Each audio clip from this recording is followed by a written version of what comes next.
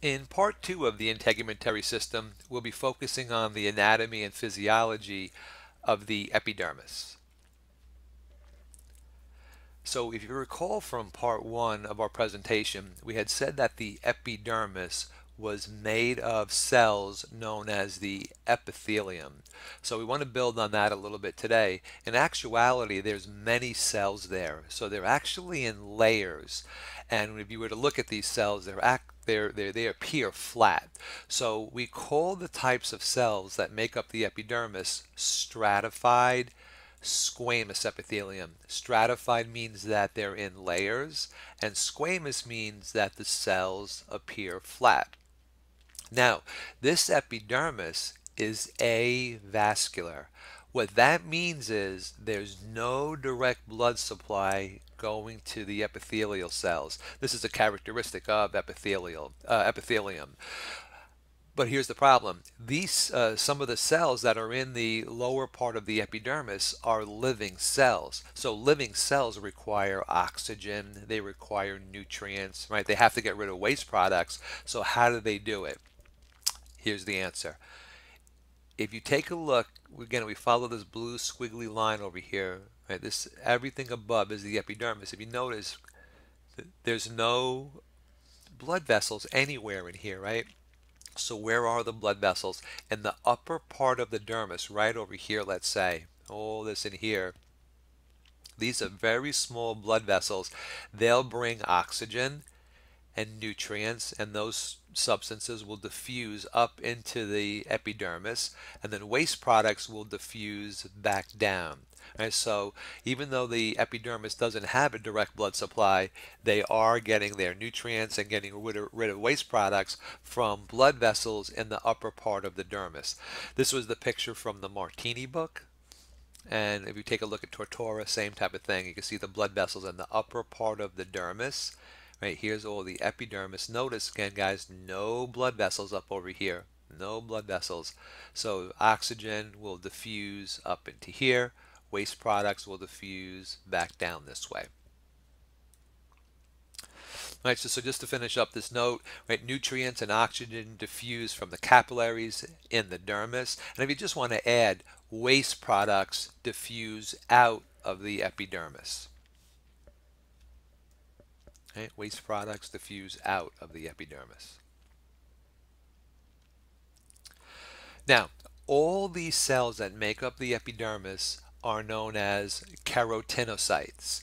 So they um, this is the most abundant epithelial cell. The reason they call them keratinocytes, you can probably guess from the name, they're filled with that water-resistant protein that we mentioned in part one called keratin. So most of the cells in the epidermis are keratinocytes. We'll see some other cells I'll describe shortly. Now, not all skin in our body is the same most of the skin that covers the majority of our body is considered thin skin and it has four distinct layers of keratinocytes. But the palms of our hands and the soles of our feet they contain an extra layer of keratinocytes, so the skin is going to be thicker. So I want you to do this for a second. Take your left hand and just kind of touch or palpate the skin on the front of your right forearm. Just kind of feel it very, very gently. You're going to feel the skin has a certain thickness. Now work down towards your wrist and go onto your palm. And you'll notice now that the palm feels that it's like a thicker skin. The reason for that is it has that fifth layer of keratinocytes.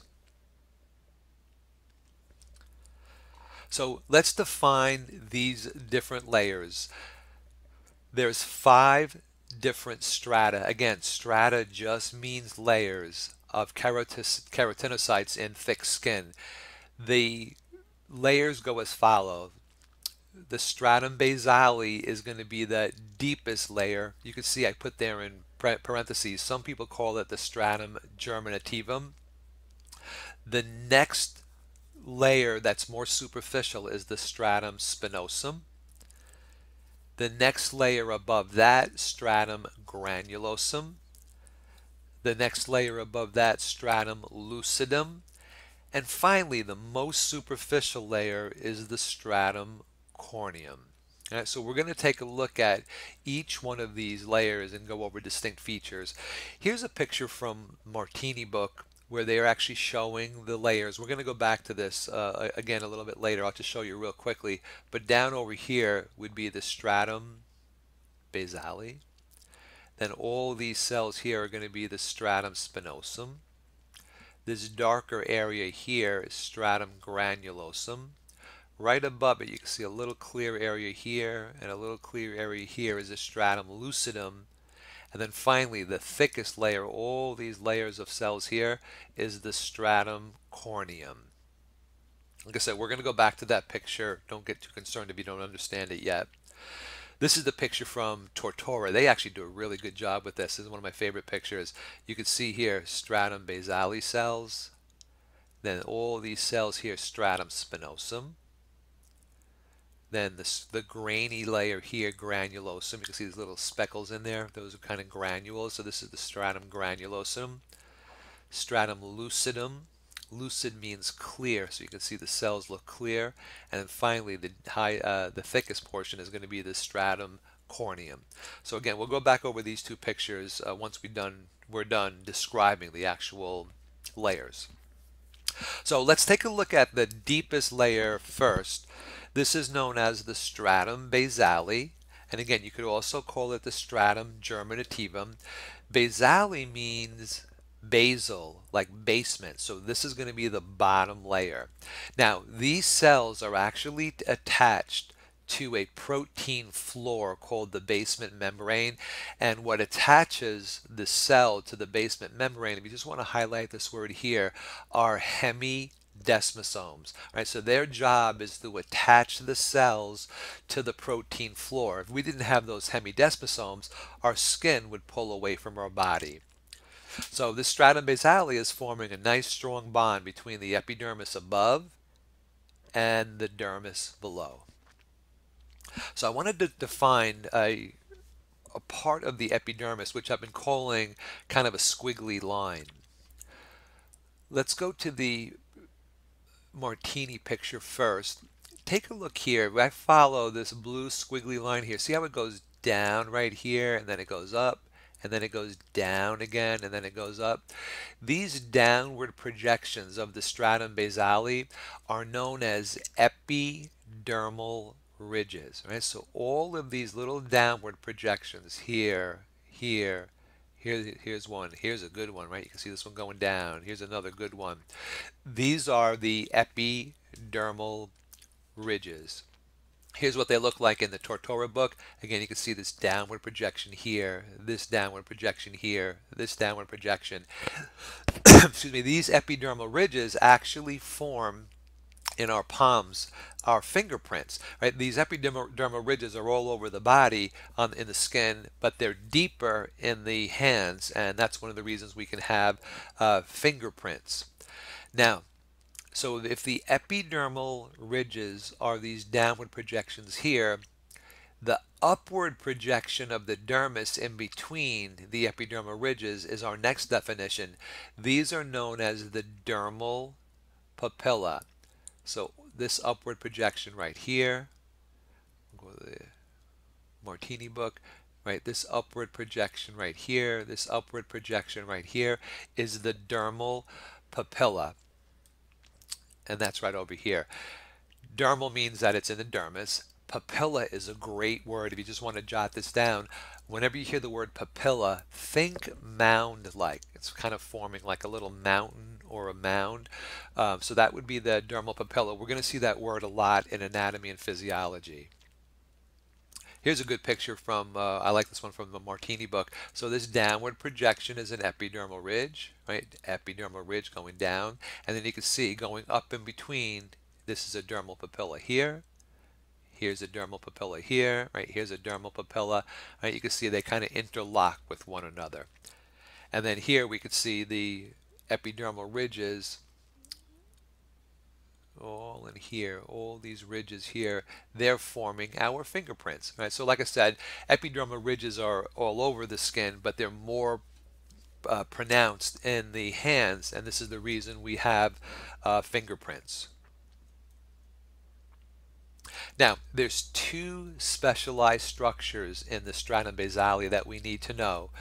Um, actually, let me go back one second. I just want to make sure we finish the slide. Uh, so we have the epidermal ridges, we have the dermal papilla. The cell that the cells that actually form the stratum basale are known as basal cells. They're not keratinocytes that we had mentioned a couple uh, minutes ago. These are known as basal cells. Some people call them germinative cells. The reason for that is these are stem cells. These cells continually divide. Uh, throughout the, the day, we actually slough off superficial cells from our skin. Listen to this, we lose about 30,000 to 40,000 skin cells per minute. They estimate that uh, over the course of a year we lose about 9 pounds of skin cells. So we need to replace those cells. So the cells in the basal area here, all these cells in here, they're continually dividing and making new cells that we that we slough off right? So that's why they call them stem, stem cells. They're continually replacing the superficial keratinocytes that are sloughing off throughout the day. Now there are two specialized structures in the stratum basale that we want to take a look at the first one is known as a tactile disc. This is our first introduction to the nervous system in the skin. In the stratum basale, we have these tactile cells. They used to call them Merkel cells uh, that have these different sensory and nerve endings. They're they respond to touch. Now we find them in hairless skin such as the your fingers and your palms. So when you go to touch something very very gently, it's these tactile discs that are actually sending a signal to the brain to let the brain know what you're touching. Right? So this is something that we find in the stratum basale. The other cell that we find in the stratum basale are the melanocytes. These are the cells that produce a pigment called melanin. And if you recall from our first part of this uh, presentation, melanin is the pigment that protects us from the ultraviolet radiation. The second layer of cells is called the stratum spinosum. Spinosum means spiny layer. So let's talk about why they look spiny. When the histologist would prepare a slide of the skin, they would put different chemicals on it so that we could see the skin cells underneath the microscope. They found that the cells in the stratum spinosum actually kind of shrank, right? the, the, the, cytoplasm shrunk a little bit, and it gave the cell kind of a pincushion appearance. So it had a spiny appearance. In real life, the cells don't look spiny. It's only because of chemical processing. But nonetheless, the stratum spinosum is 8 to 10 layers now of keratinocytes. So you're not going to call them basal cells. That's only going to be in the basement, uh, the basal strata. Here, you're going to call them keratinocytes.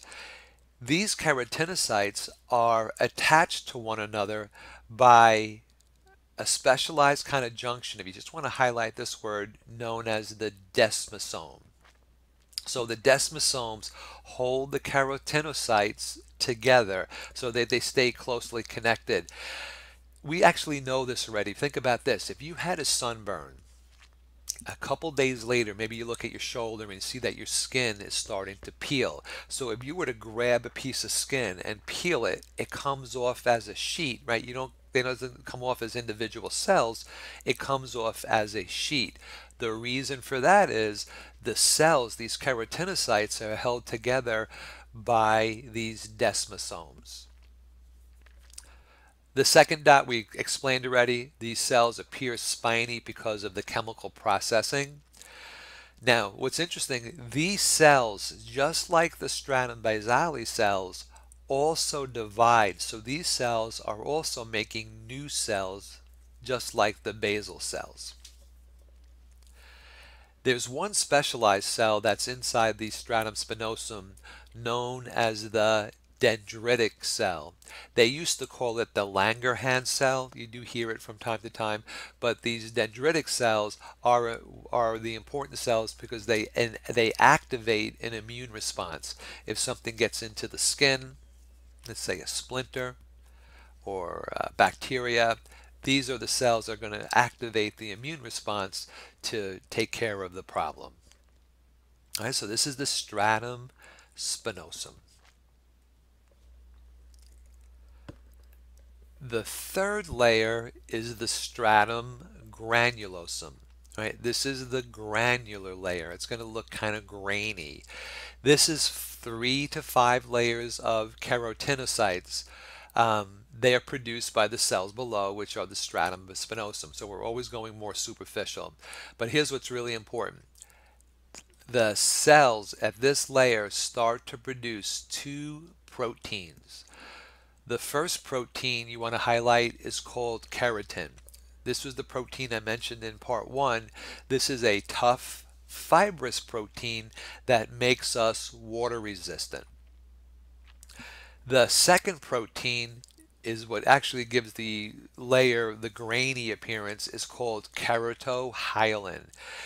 These granules actually help to cross-link the keratin fibers, actually bring the keratin fibers closer together and making us more water resistant. The other thing that the keratohyalin does is that it uh, makes us makes the cells dehydrated and that actually causes the cells to die so what's important also is that the stratum granulosum this is the layer where we actually go from having living skin cells to dead skin cells Okay, so some of the highlights of the stratum granulosum again, three to five layers of dead keratinocytes. The two proteins that you want to know are going to be the keratin, right? That's what makes us water resistant. And the keratohyalin is the uh, protein that actually brings the keratin fibers together, right, making them nice and tightly together, and then also promoting dehydration of the cells so that the cells die. The fourth layer is the stratum lucidum. So the this is called lucid means clear. So the cells actually appear clear when you look at them under the microscope. This is a layer that's only found in thick skin, right? We're not going to see this in thin skin. So they're going to be on top of the stratum granulosum, right? They're more superficial. At this point, if you looked at the cells under the microscope, they would appear flat right, you're going to see relatively few organelles. I put here no organelles. And the cells at this point are filled with keratin so that the cells are completely water resistant. The most superficial layer is the stratum corneum. Right? This is the tough layer. So they called it the horny layer, meaning that it has kind of a toughness to it. If you were to touch your skin, this is what you're touching. You're touching the stratum corneum. So this is the exposed surface of the skin. At this point, we're water resistant, and you could see it's a much thicker layer. It has anywhere from 15 to 30 layers of dead keratinized cells. I didn't use this term before, but the process of making us water resistant is known as keratinization, right? So this is the formation of these protective layers of, of the cells that are filled with keratin, right? So you may hear that term keratinization. Now, how long does it take from cells to get from the stratum basale to the stratum corneum. It's about a week, figure 7 to 10 days. So when the cells are first made at the stratum basale, it takes a week to get to the stratum corneum and they'll stay the cells will stay in your stratum corneum for another two weeks right and then they'll shed off but again the good news is we have new cells from the stratum basale constantly replacing our sloughed off cells now, we can lose water from the uh, the epidermis, or this through the stratum corneum, actually, by uh, something known as insensible perspiration. Right. So we think of perspiration, we think of sweating, but this is a type of water loss that's not sweating. we actually lose water because the water actually diffuses across the stratum corneum and evaporates from the skin. So we're actually losing water through our dead skin cells, right? We roughly use lose about 500 milliliters per day. If you just want to add there, that's about a pint. But since it's over the whole surface of your skin, you can't sense it. You don't feel that water loss, right? You don't feel the loss of that pint of water over the whole surface area of your body. So that's why they call it insensible. We cannot sense that. Opposed to sensible perspiration, this is what we typically think about when we lose water by the sweat glands, right? If you go to the gym today and you go on the treadmill, you start working out and you start to sweat and you feel sweat on your forehead or on your chest, that type of thing. You sense that sweat. That's the sweat we lose through the sweat glands that we call sensible perspiration. Right? So insensible perspiration, we cannot sense. We lose about a pint of water through the skin every day. Uh, last thing here I didn't talk about yet. If there's damage to the stratum corneum, then the rate of insensible perspiration is going to be lost because we're going to lose more water because there's less skin at, at, at a certain point. Uh, an example that would be from a burn, right? So if you burn the skin, uh, it's not going to be there to to really keep the water in. So the rate of water loss will be increased by insens insensible perspiration if you damage the stratum corneum. All right, so insensible perspiration, you can't feel it we lose about a pint of water a day. Sensible perspiration, as you know, right, as a way of cooling, we can feel that type of sweat. So we call that sensible. So before we go to the last slide, I just want to show you again here on the um, Martini picture. Here's the five layers. They do a good job with this. So here they're describing the layers just like I just did. And you can see here, so this bottom layer would be the stratum basale. Here's an epidermal ridge. Oh, this is stratum basale. Then these cells here are going to be the stratum spinosum. The darker area, stratum granulosum, right? If you looked at these cells at a higher magnification, they would appear grainy. Then just above it, this clear line right here, this is thick skin. We're seeing a little bit of it. This would be the stratum lucidum, right? only found in thick skin. And then look at this thickest layer here. All these sheets and sheets of flat dead cells is the stratum corneum. Right? So these slough off every day at the top. But again, the good news is we make new ones down here. And again, it takes about a week to get to the stratum corneum. And then these cells will stay here for about two weeks. So Martini does a pretty good job with that, but the picture I really like is from the Tortora book. They um, they do a really good job with this because you just see the cells so well. So again, stratum basale, these are your stem cells, right, the basal cells. Stratum spinosum, right here, and here you can actually see one of the uh, dendritic cells, like the Langerhans cells right here. Then the next one, stratum granulosum. And again, you can you can see the little grains in there now, the little granules. That's the keratohyalin. Then in thick skin, the clear layer, stratum lucidum. And then the stratum corneum. And so they, that, that diagram is really, really good. They do a good job with that. The last thing that we want to talk about on the epidermis is about some chemicals that stimulate the um, growth of epidermis. Now, we don't just see epithelial cells on our skin. As we go through our studies we're going to see epithelial cells lining all of our organ systems like our intestines and things like that. So we have epithelium all over the body.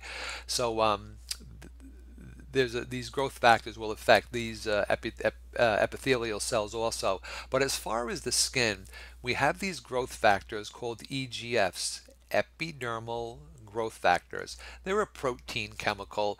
Uh, what's interesting is they're produced by the salivary glands and then a small or first part of the small intestine called the duodenum. Um, that's where they're produced. Uh, in labs where they treat people with burns, they actually use these chemicals to grow skin grafts so that they can put artificial skin onto a, a, a burn victim. So what do these EGFs do? These are these chemicals that keep the basal cells producing new cells. Those stem cells continually uh, reproduce. They accelerate keratin production, again, the waterproofing protein. Uh, if we have an injury, they stimulate repair of the epidermis, and they actually stimulate glandular secretions. And we'll talk about the different glands as we go through uh, this uh, integumentary system. All right, so those are the features of the epidermis. In part three, we'll take a look at the dermis.